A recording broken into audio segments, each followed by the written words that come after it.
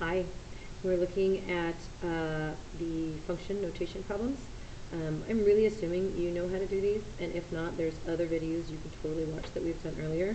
But these are a little bit tricky, and so since you're here, I'm glad you're here. We're going to go ahead and look at them. Um, for this one here, this is telling me to take f of x, which is right here, and to put it into this function, into the g function.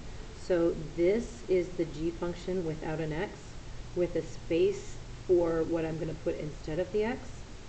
And instead of the x here, I'm going to put in the entire f of x function. So I put those in, and honestly, all you need to do is just simplify that. So there's really nothing much to do. You just combine your like terms of your negative 1 and your 2, and you're finished. This one is a little bit trickier. So for this one here, this is my h of x function, and I'm supposed to put that into my f of x function. So I'm going to create a space for my normal x and my f of x function. Does everybody see that? And then what I did, I'm going to do is I'm going to put this guy right in here. So right inside there. So again, this was my h of x function that I put inside of the x position.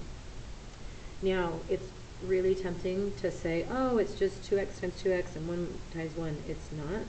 This, remember, means 2x minus 1 times 2x minus 1, which means that I am supposed to multiply these, and multiply these, and multiply these, and multiply these, which means what I get is 4x squared minus 4x plus 1 which is not what I would have gotten. I'd be missing this little term in here.